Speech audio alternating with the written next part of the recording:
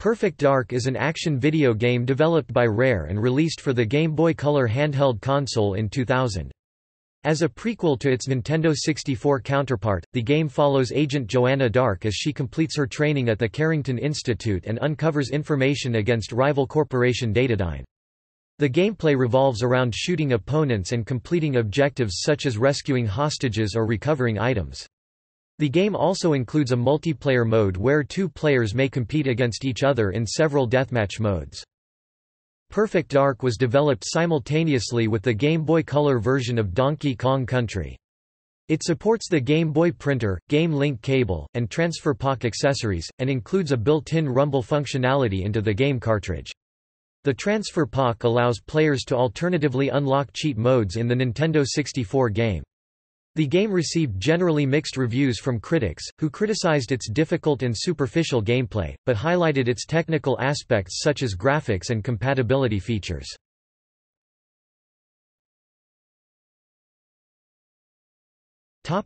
Gameplay Perfect Dark is an action game that is presented from a top-down perspective and where the player can move and shoot in eight directions. The player controls Joanna Dark and must initially complete a training mode where she will have to complete a series of challenges. These include the use of stealth, in which the player is challenged to kill enemies by sneaking up behind them without making noise e.g. running or reloading weapons, complete a memory-type game that involves pressing various buttons in a specific order to open up doors, and shoot targets from a first-person perspective. The game's single-player campaign is divided into several missions that the player has to complete while fighting enemies and completing objectives. Objectives range from rescuing hostages to exploring areas and recovering items such as keycards, explosives or laptop computers, which are useful to hack into electronic devices. The player can loot new weapons, health and ammunition from enemy corpses. The game features several minigames, including a driving level and a sniper mission, as well as numerous boss battles that must be defeated to progress to the next level. By beating any of these minigames, the player can access them in the game's extras menu. The game also includes a multiplayer mode where two players may compete in four different types of deathmatch modes. These range from the standard kill the other person on a preset time to the counter-force mode, where the first player must rescue hostages while the second player has to guard them. Various multiplayer maps are unlocked as the player progresses through the single-player campaign.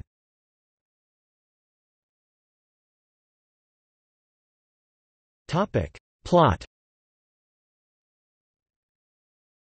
Set in early 2022, Perfect Dark follows Agent Joanna Dark during the final stages of her training at the Carrington Institute—a research and development center founded by Daniel Carrington. After completing her training, Joanna is sent on a mission to destroy a cyborg manufacturing facility in the South American jungle. The facility is run by Mink Hunter and produces high-tech weaponry for terrorist operations. Joanna completes her mission successfully, killing Hunter and destroying the entire facility. She then reports that, during her landing in the jungle, she witnessed an aircraft being shot down and made a note of the coordinates. Carrington learns that there is a UFO in the area and that Datadyne, the Carrington Institute's rival corporation, is getting away with the alien wreckage. Joanna is sent to investigate the crash site, but is ultimately captured and taken to the Pelagic Eye research vessel, along with the alien wreckage. An alien eventually rescues Joanna, telling her that she must gather as much information on the alien wreckage as possible, and then sink the pelagic eye after succeeding. Joanna tells Carrington that the wreckage belonged to an alien race called the Skedar.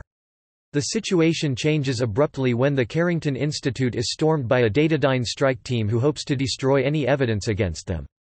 Joanna defends the Carrington Institute and her work earns her enough recognition to take part in her next mission. The game ends with the Carrington Institute carrying out further investigations on Datadyne.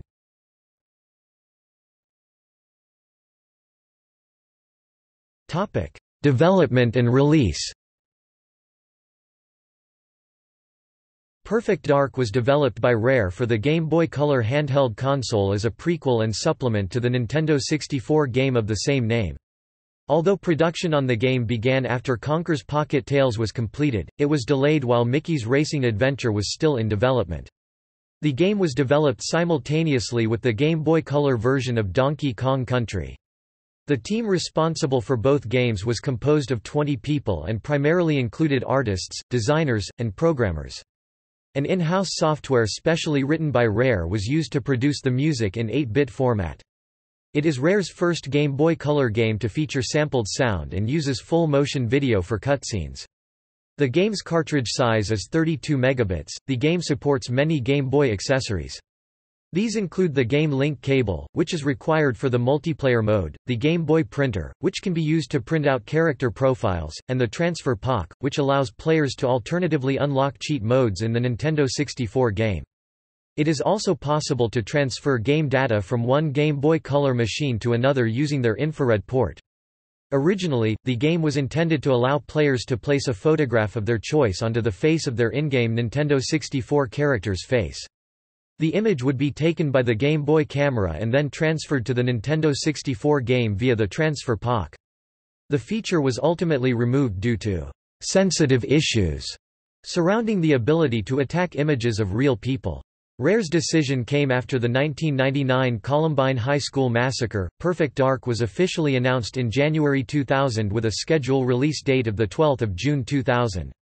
The first screenshots of the game were revealed shortly afterwards and a gameplay demo was showcased at the 2000 Electronic Entertainment Expo. The game was ultimately released in Europe and North America in August 2000. Despite its Game Boy Color quality graphics, the game received a T rating from the ESRB due to its animated violence. The game cartridge features a built-in rumble functionality, which provides force feedback during gameplay.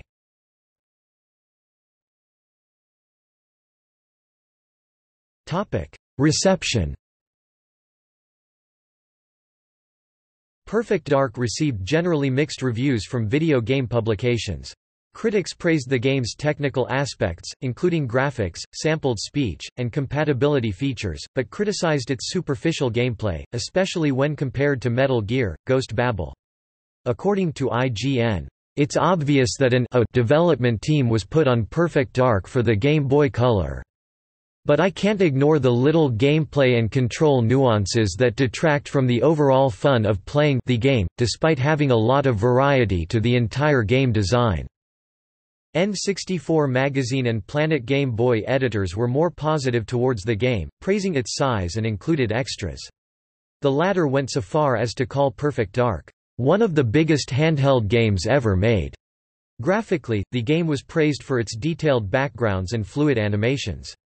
However, the size of the player character was criticized because it does not allow players to properly see their immediate surroundings, resulting in players accidentally alerting nearby enemies or making it difficult for them to get a sense of where they are in the game's maze-like levels.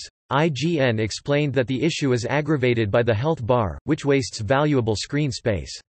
The Electric Playground highlighted the game's full voice conversations and numerous sound effects like footsteps and gunshots. GameSpot also note the game's numerous sound effects, but criticized the fact that there is no music during gameplay. The lack of checkpoints and scarcity of health and ammunition frustrated some critics, who found the game unnecessarily difficult and unforgiving. The poor artificial intelligence of enemies and stealth mechanics were also noted. According to GameSpot, in theory you should be sneaking up on enemies, defusing bombs, and saving hostages. In practice, however, enemies turn around and attack even when you're sneaking up on them and defusing bombs requires no effort, so the suggestion of strategy is moot. Although the different minigames were praised for giving the game variety, some reviewers felt that they were clearly imitative of games such as Spy Hunter and Operation Wolf. The multiplayer mode was highlighted for its extensive options, but IGN remarked that there's no real strategy involved in these deathmatch games other than to find the other person and open fire until one dies and respawns elsewhere on the map. In a retrospective review, Jon Wahlgren of Nintendo Life concluded that Rare did a great job on squeezing so many features and technical magic into the little cart, by focusing so heavily on the tech they seem to have sacrificed a lot of what would make it more fun to play. In 2012, GamesRadar editors ranked Perfect Dark 47th on their list of the best Game Boy games of all time, praising Rare for its adaptation of the Nintendo 64 game.